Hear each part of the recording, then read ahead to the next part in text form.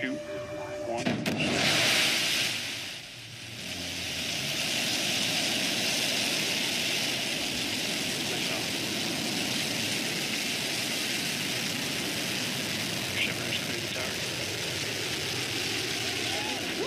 There she goes. New Shepard has cleared the tower on its way to space. With its crew of six, they are screaming up towards the Kármán line. You can see the speedometer on your bottom left there, as well as the altimeter.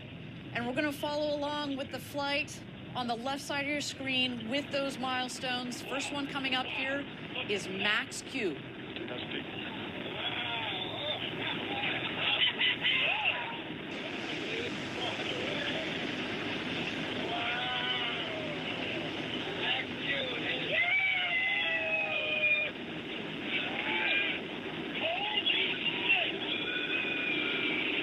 Max Q has been confirmed. Maximum dynamic pressure. It's when the forces on the vehicle between the atmosphere and the speed are at their are maximum. We've punched right through it. As well as punched through that layer of clouds, the vehicle continues on its upward ascent towards space.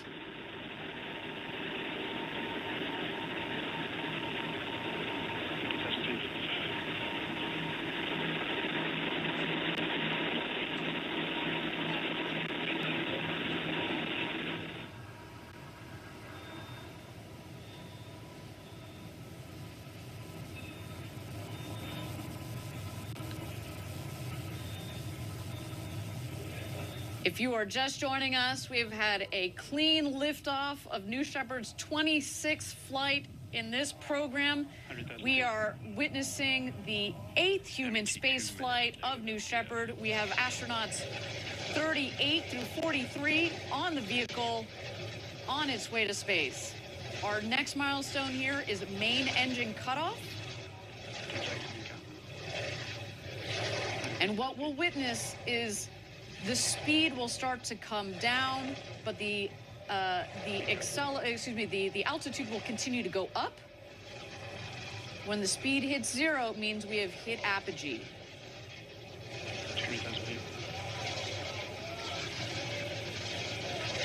And Jackie, I think uh, uh, one of the other cool part of this program is that we slow. You see that kind of slight little hot dog roll we got going on of the rocket. We just want to give. Well, it, it's really is just to give the astronauts uh, each a 360 degree view as they're going up, which is so cool. All right, main engine cutoff and separation have been confirmed.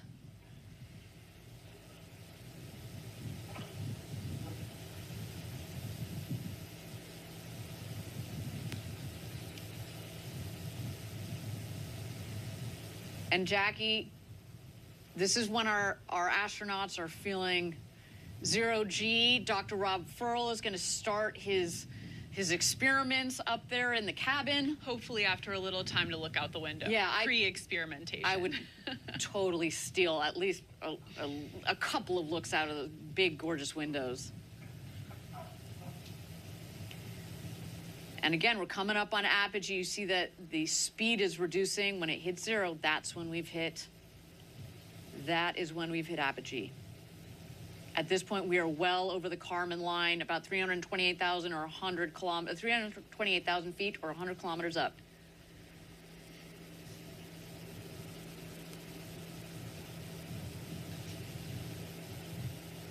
And there it is, apogee, about 340,000 feet.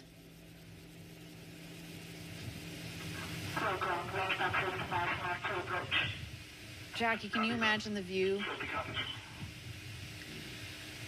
I was talking about being jealous of your astronaut training, but I'm more jealous of them right now. You know, they're unbuckled at the moment. They are turning their somersaults. They are soaking it in. They are, you know, we're witnessing six people having their minds blown right now as we speak. But the booster is heading on down, and it will beat the the capsule back to Earth. The booster, of course, has a controlled landing on a landing pad just two miles north of where it's taken off from. The capsule less aerodynamically shaped, will uh, will land second under three parachutes uh, in our uh, landing zone in our valley in West Texas.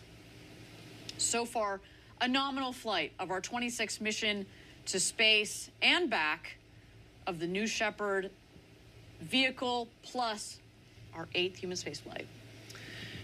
Congratulations truly to all six of our astronauts today. Oh, I'm sorry, our crew who officially have become astronauts. That's right. Massive congratulations. Over the Kármán line.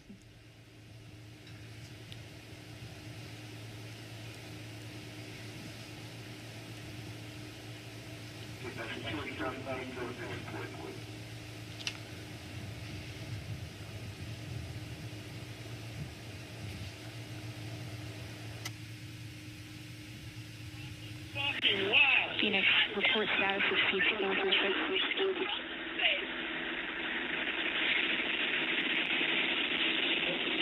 Phoenix, report status. Phoenix, uh, four, five, and six are in. Hey, you tell them that everyone's in.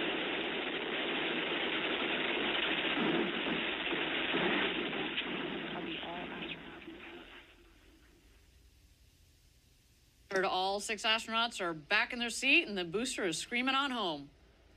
Yeah, as we mentioned, that booster is going to return to Earth a lot faster than the capsule because of the aerodynamic nature of the crew capsule. It's coming back through the clouds. That's a sweet view of the booster as it's coming back through the atmosphere here.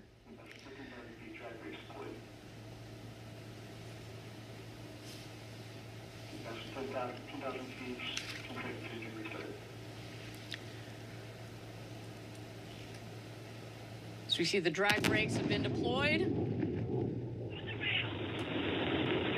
There's the relight of that BE3 engine.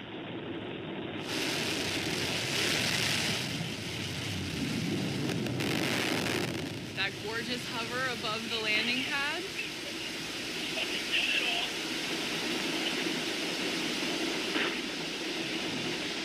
Cube touchdown on Stephen started. And booster touchdown, a successful touchdown of the booster for the NS 26 mission. Always a sight to see. Always a sight to see. Real, I mean, it's been going thousands of miles per hour, and then it comes in landing. You see, it just kind of hovers there at five miles an hour. It's such a smooth descent, and it's and landing, and to as as a reminder to people, this is so critical to the reusability because the the smoother the landing, the less you jostle the rocket, the less you have to refurbish the rocket, the more you can more uses you can get out of the rocket.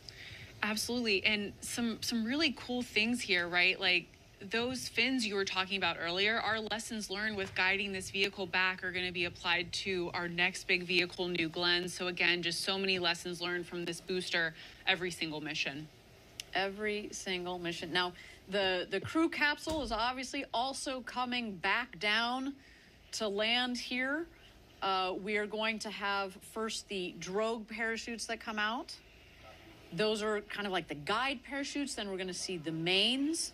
They will reef, so they're going to kind of go out just a little bit, and then they fully inflate. And talk about cutting speed. You can already see the speed on the, the on the the screen there. It comes in at just like 15, 16 miles an hour for nice. Smooth. There she is. And again, these parachutes, both the drogues and the mains, are essential in providing a gentle touchdown for the capsule. But as we get closer to the ground here, you're going to see a retro thrust system on the base of the capsule, um, which does kick up a bit of West Texas dust, but it makes for an even smoother touchdown. Then again, you know, like you said, the already slow speed that the capsule is descending at now.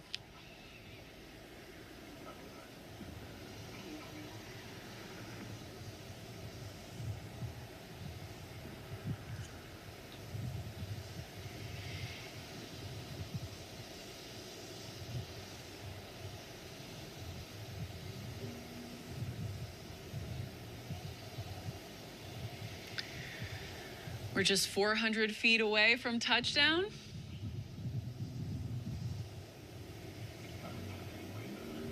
Again, stay tuned for that retro thrust system here.